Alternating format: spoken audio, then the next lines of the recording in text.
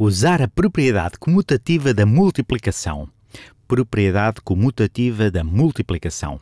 Para escrever a expressão 2 vezes 34 de forma diferente. Simplificar ambas as expressões para mostrar que têm resultados idênticos. Mais uma vez, isto da propriedade comutativa significa simplesmente que a ordem não importa. Parece muito complicado, propriedade comutativa da multiplicação, mas quer dizer apenas que tanto faz multiplicarmos 2 por 34 ou 34 por 2. A ordem é indiferente. Podemos comutar os dois termos. Ambas as formas darão precisamente o mesmo resultado. Vamos testar. Quanto é 2 vezes 34?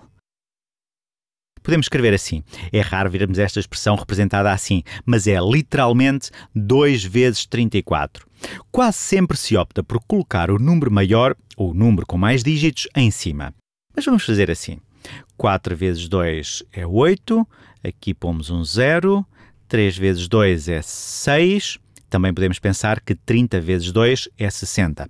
Vamos somar. 8 mais 0 é 8 e 6 é só passar aqui para baixo, mas não vai ser somado a nada. E o resultado é 68.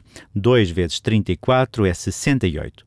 Se multiplicarmos 34 por 2, 34 vezes 2, 2 vezes 4 é 8, 2 vezes 3 é 6, por isso é que é melhor escrever o número com mais dígitos por cima. A conta fica mais fácil. Também é igual a 68. Tanto faz ter dois grupos de 34 ou 34 grupos de 2. Em qualquer dos casos, o resultado será 68.